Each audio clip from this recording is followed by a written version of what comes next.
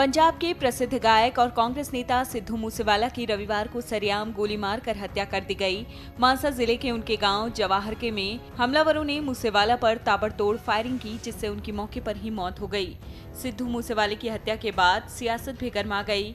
सिद्धू मूसेवाला की हत्या से एक दिन पहले ही शनिवार को पंजाब सरकार ने सिद्धू मूसेवाला की सुरक्षा घटाई थी और चार में से दो सुरक्षाकर्मी वापस बुला लिए गए थे।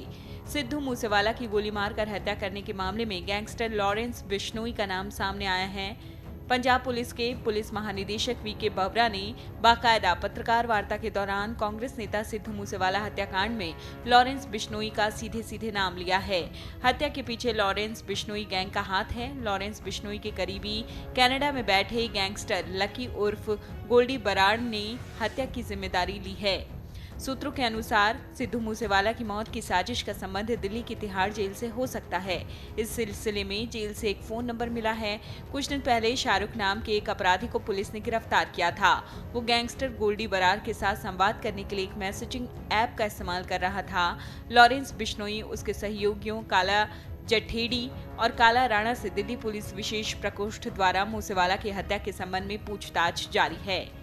फ़िलहाल लॉरेंस बिश्नोई दिल्ली की तिहाड़ जेल में बंद है और यहीं से वो गैंग चलाता है। जानकारी भी सामने ये है कि लॉरेंस बिश्नोई ने जेल से वर्चुअल फ़ोन के ज़रिए कनाडा में बैठे अपने साथी गैंगस्टर लकी उर्फ़ गोल्डी बराड़ से बात की, जिसके बाद सिद्धू मूसेवाला की हत्या का पूरा प्लान बनाया गया। सिद्धू मूसेवाला की हत्या के तीन घंटे बाद गोल्डी बराड़ ने फेसबुक पोस्ट डालकर वारदात की ज़िम्मेदारी ली। उसने लिखा, मेरे साथी की हत्या के मामले में मूसेवाला का नाम सामने आया था, लेकिन अपनी पहुँच के चलते वो बच गया और सरकार ने उसे सजा नहीं दी, इसलिए हत्या को अंजाम दिया गया है। दिल्ली पुलिस के स्पेशल सेल ने पिछले साल कुख्यात गैंगस्टर लॉरेंस बिश्नोई पर महाराष्ट्र संगठित अपराध नियंत्रण कानून लगाया था। तब पुलिस ने इंटर स्टेट सिंडिकेट चलाने से जुड़े एक केस में चार्जशीट दायर की। चंडीगढ़ स्थित पंजाब विश्वविद्यालय में पढ़ाई करने के दौरान लॉरेंस बिश्नोई का नाम तेज़ी से छात्र राजनीति में उभरा, लेकिन वो छात्र संघ का चुनाव हार गया।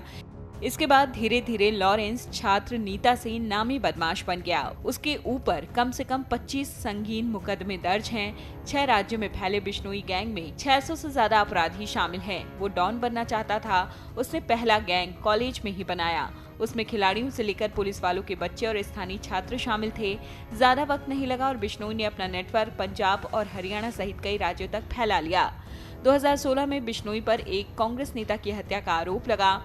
लॉरेंस बिश्नोई को पहचान मिली 2018 में। दिल्ली पुलिस ने बिश्नोई के साथ साथ जिस संपत नेहरा के खिलाफ चार्जशीट दायर की, वो जून 2018 में बंगलुरु से पकड़ा गया था। संपत वही है जिसने पूछताछ में खुलासा किया कि वो अभिनेता सलमान खान की हत्या करने वाला था। संपत के अनुसार सलमान को मारने का काम उसे बिश्नोई ने दिया था। मीडिया रिपोर्ट्स के मुताबिक 2018 में लॉरेंस बिश्नोई ने ही जेल में बंद रहने के दौरान बॉलीवुड के मशहूर अभिनेता सलमान खान को जान से मारने की धमकी दी थी। गैंगस्टर लॉरेंस बिश्नोई बॉलीवुड अभिनेता सलमान खान की हत्या करना चाहता था। इसके पीछे असल वजह यह है कि सलमान खान पर काले हिरण के शिकार के आरोप हैं। इसके बाद सलमान खान और असीन अभिनीत फ़िल्म रेडी की शूटिंग के दौरान एक बार लॉरेंस ने अपने गुर्गों के ज़रिए सलमान पर हमले की पूरी योजना बनाई। ये अलग बात है कि लॉरेंस बिश्नोई को पसंदीदा हथियार नहीं मिला तो वो योजना असफल हो गई।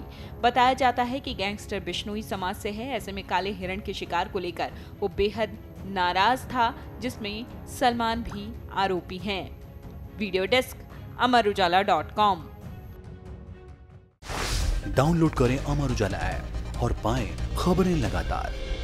अगर आप ये वीडियो YouTube पर देख रहे हैं तो हमारे चैनल को सब्सक्राइब करें और बेल आइकन को दबाना ना भूलें। अगर आप फेसबुक पर यह वीडियो देख रहे हैं तो हमारे पेज को लाइक करें।